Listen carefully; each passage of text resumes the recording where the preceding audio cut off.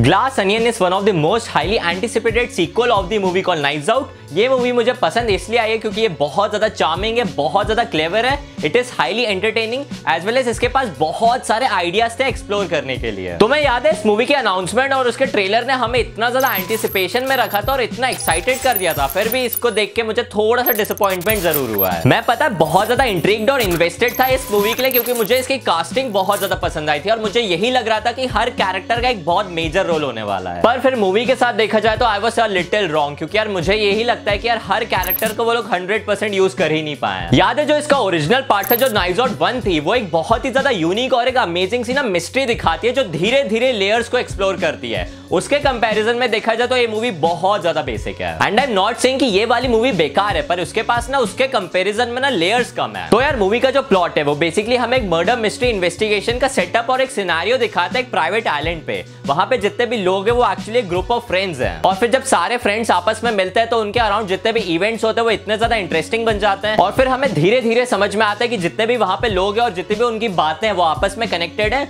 और एक final scenario ना तुम्हें एंड में मिलता है। मतलब अगर देखा जाए तो फ़र्स्ट हाफ़ को वो लोग एक सेटअप की तरह रखते हैं और धीरे धीरे करके ना सेकंड हाफ़ में चीज़ें रिवील करते हैं। तो यार, यहाँ पे प्लॉट क्लियर है और हमें ये भी पता है कि इस मूवी का जॉनर मिस्ट्री है तो इसमें एक मिस्ट्री सॉल्व होने वाली है। पर प्रॉब्लम यहाँ पे आती है कि मूवी हमें इतनी चीज़ें देती ही नहीं कि हम लोग सोच पाए कि यार मिस्ट्री एक्चुअली है क्या। मतलब तुम खुद देखो यार, जितनी भी मिस्टीरियस मूवीज़ होती है, हम लोग उसमें सोचते रहते कि यार ये चीज़ हो सकती है, फिर ये चीज़ हो सकती है। वो लोग हमें मौका ही नहीं देते सोचने का। मूवी हमें फ़र्स्ट हाफ़ में इतनी चीज़ें रिवील करती नहीं कि हम लोग उसका एक बेसिक सा सिनेरियो बना पाए और सेकंड हाफ़ में वो खुद ही सारी चीज़ें रिवील कर देती है। एनीवेज कास्टिंग से मुझे इतनी ज़्यादा दिक्कत आई नहीं है क्योंकि डेनियल क्रेग एडवर्ड नॉर्टन और जितने भी सारे एक्टर्स है, सब बहुत शानदार थे। बस मुझे प्रॉब्लम ना उनके कैरेक्टर आग से आई है क्योंकि यार उनके कैरेक्टर को इतना ज़्यादा एक्सप्लोर ही नहीं किया जाता है। इट एक्चुअली फेल्ट लाइक सारे कैरेक्टर्स को वो लोग बहुत अच्छे से यूज़ कर सकते थे, पर सारी चीज़ें वेस्ट हो जाती हैं। तो पता बात यहाँ पे आती है कि इसका स्ट्रॉन्ग एस्पेक्ट जो है, वो इसकी स्टोरी है, वो इसकी मिस्ट्री है। क्योंकि इसकी मिस्ट्री इतनी ज़्यादा स्ट्रॉन्ग है, क्योंकि हमें कुछ पता ही नहीं होता है। तो देखा जाए तो एक प्लस पॉइंट भी और माइनस पॉइंट भी है, क्योंकि यार फ़र्स्ट पार्ट में हमने ना बहुत चीज़ें गैस की थी और हमें मज़ा भी आ रहा था।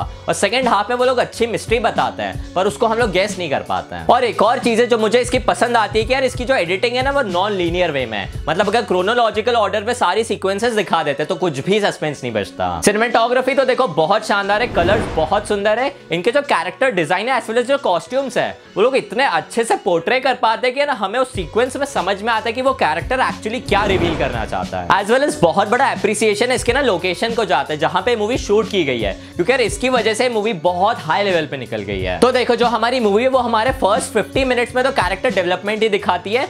उसके बाद जो आधा घंटा है उसमें पूरा एक ना रिवील करती है स्टोरी को और उसके ना प्लॉट ट्विस्ट को। बाय दिस स्टेज में समझ गया था कि यार सारी चीज़ें रिवील कर देगी और मूवी अब खत्म हो जानी चाहिए, पर उसके बाद भी मेरे पास 40-50 मिनट और थे। बस वहाँ पे मुझे ना बहुत ज़्यादा दुख हुआ कि इस मूवी को थोड़ा ज़्यादा स्ट्रेच कर दिया गया। मतलब वहाँ पे अगर मूवी को थोड़ा कट शॉर्ट करके एंड कर देते ना तो मूवी मुझे एक्चुअली और ज़्यादा पसंद आती। और अगर इसका फ़र्स्ट पार्ट जो है, उससे अगर देखा जाए तो ये जो पार्ट है ना, वो एक सोशल कॉमेंट्री की तरह है, जो कि ना बहुत ज़्यादा हाई लेवल है। मतलब इसका क्लास टॉप लेवल पे है। क्योंकि इस मूवी का जो कॉन्सेप्ट है, वो बहुत फन है, बहुत ज़्यादा क्लासी भी है, पर थोड़ा सा स्ट्रेच्ड आउट है। एनीवेज ग्लास इंडियन मुझे लगता है कि एक बार तुम्हें ज़रूर देखनी चाहिए, और उस हिसाब से तुम मुझे बताना कि यार तुम्हें मूवी कैसी लगती है। इस मूवी के अपने भी बहुत सारे कूल मूवमेंट्स हैं, पर यार कभी कभी ऐसा होता है ना कि जो एक सीक्वल होता है, उसके खुद का एक स्टीरियो बन जाता है, कि वो जो स्पेसिफिक मूवी है, वो अपने जो फ़र्स्ट मूवी थी, उससे बेटर नहीं हो पाती है। तो मुझे भी कभी कभी यही लगता है कि इस मूवी के साथ भी ऐसा ही हुआ है। Overall it was a fun movie for me and I am rating this movie 6.9 stars out of 10 so guys thank you so much for watching this video